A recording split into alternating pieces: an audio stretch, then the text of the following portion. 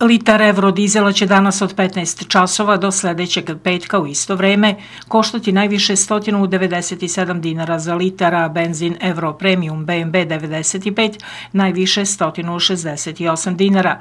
Prošle nedelje litar dizela koštao 200, a benzina 170 dinara.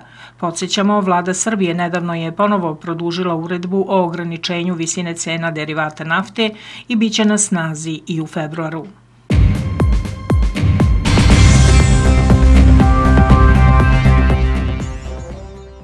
Vlada Srbije usvojila je na sednici uredbu o raspodeli posticaja u poljoprivredi i ruralnom razvoju u ovoj godini, za što su obezbeđena sredstva u ukupnom iznosu od 23 milijarde 125 miliona i 365 hiljada dinara. Kako se navodi u vladinom saopštenju, posticaji su koncipirani tako da na optimalan način podržavaju nedovoljno razvijene oblasti poljoprivredne proizvodnje kao i područja sa otežanim uslovima rada a sve kroz unapređenje konkurentnosti poljoprivrednih gazdinstava.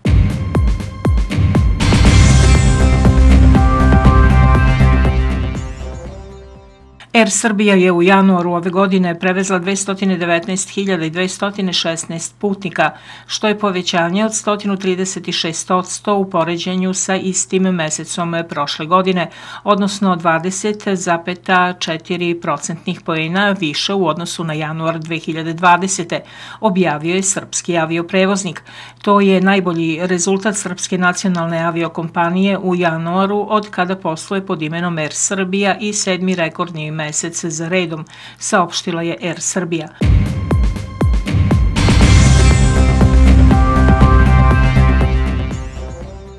Zvanični srednji kurs je 117,32 dinara za 1 evro, objavila je Narodna banka Srbije.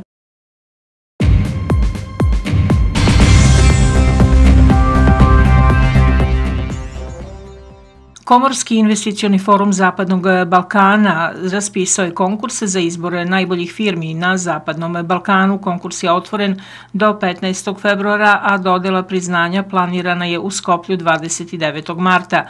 Nagrade će biti dodeljene u šest kategorija i to vodeći investitor, najbolji izvoznik, šampion zaštite životne sredine, digitalni šampion, uspešan dobavljač u regionalnom lancu i najinovativnija kompanija.